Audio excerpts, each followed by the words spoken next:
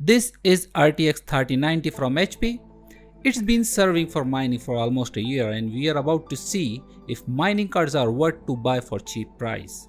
In this video, I am going to tear it down, clean it up, replace thermal paste, put it back in the system and compare the thermals.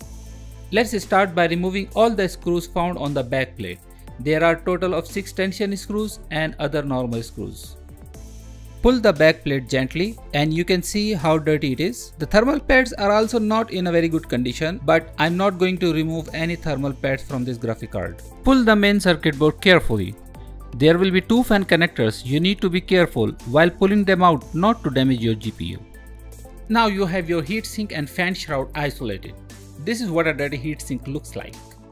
There will be 3 screws on each fan, just remove all of them so that you can remove the fans to clean them easily.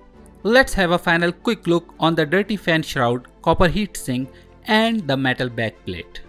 I am cleaning the main circuit by only dry brush because it was already in a neat condition containing only minor dirt residues. I'm back after washing the non-electrical components of the GPU with soap and pressure wash and blow dry. You can clean the main GPU chip by using only alcohol and microfiber cloth. Carefully apply the thermal paste, not too much, not too less. Here I am using the line technique again. It's time to put everything back in order. Just make sure you did not forget or skip any step that you did during the tearing down of your GPU. Let's have a quick look of the GPU before and after the cleaning.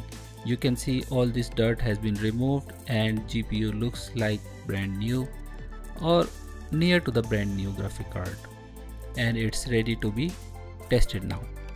I use Furmark for comparison with the same setting before and after the cleaning of GPU.